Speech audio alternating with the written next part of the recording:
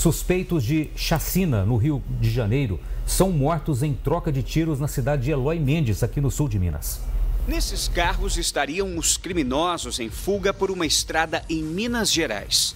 Segundo a polícia, Ricardo Alexandre Maia Santos, de 19 anos, e Gustavo Ramos Santos, de 24 anos, que era funcionário do sítio onde ocorreu a chacina em Resende, no interior do Rio de Janeiro, eram irmãos. Ainda de acordo com as investigações, ambos eram suspeitos de terem participado das mortes de Marcos Roberto de Cássio, de 52 anos, dos dois filhos dele, Luiz Otávio Campos de Cássio, de 31 anos, que era dono do sítio, e Luiz Miguel Conceição de Cássio, de 8 anos, além de Rodrigo Dionísio Machado, de 28 anos, que era funcionário do sítio.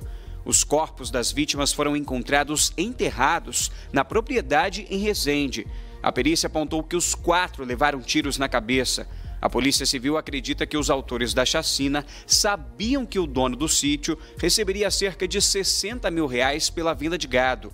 Luiz Miguel, de 8 anos, foi assassinado porque teria visto um dos criminosos. Um dos suspeitos de participação na chacina já havia sido preso na semana passada. De acordo com os policiais, o homem teria ajudado na fuga. Os irmãos vieram se esconder em uma chácara que fica aqui nesse condomínio rural no bairro São Domingos, entre Eloy Mendes e Paraguaçu, a cerca de 270 quilômetros do município carioca. Os policiais de Minas e do Rio receberam informações de que eles estavam aqui no local, por isso fizeram um cerco. Só que, como os dois não se entregaram, houve troca de tiros, que durou mais ou menos uma hora e meia.